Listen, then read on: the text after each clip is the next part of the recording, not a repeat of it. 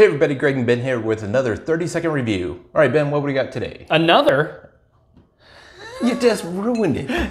It's a new thing that we're starting up. Okay, we've got Bam. This is flavored whiskey. This is Doughball cookie dough flavored whiskey. So, Side note for the viewers, we just did a whatever Wednesday that uh, it didn't go so well. right. And this So isn't going to be a whatever this is a- Wednesday. This is just a quick. I have the bottle, so we might as well Taste it. because at this point we're just putting out as much content as we can.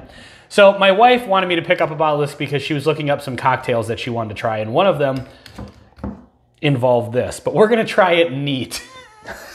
well, I, flavored whiskeys tend to be usually pretty good. yeah, for what they are. Yeah. I think we've already gone past 30 seconds. No, no. Um, I'm getting notes of cookie dough. Cookie dough, and that's it. Yeah, it smells like cookie dough. Oh, it's thick. It's honey, like honey thickness, dense.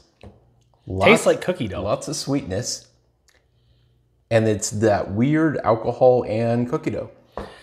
That we all know and love. But it then it does it does have artificial uh, chocolate. Do you know what this reminds me of? Is like the actual, the way that it tastes reminds me of the smell of like when you get the bag of cookie dough, like you know the, the instant stuff that you just add water to. Yep. That's what it reminds me of. Huh.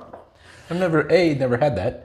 But this is really good. I imagine on the rocks this would actually. Now it's super ridiculous sweet. Like you're gonna drink this if you want a dessert. yeah, this is like Drink. Typically, we don't recommend on the rocks, but I, maybe in this case it's justified. Yeah, yeah, for cut, sure. Cut some of that sugar out. And maybe I'll uh, do one of those cocktails that my wife had looked up and throw it in at the end of the video here That's a good and idea. see what it does. So anyway, All right, 28, 29. Thanks for watching. perfect.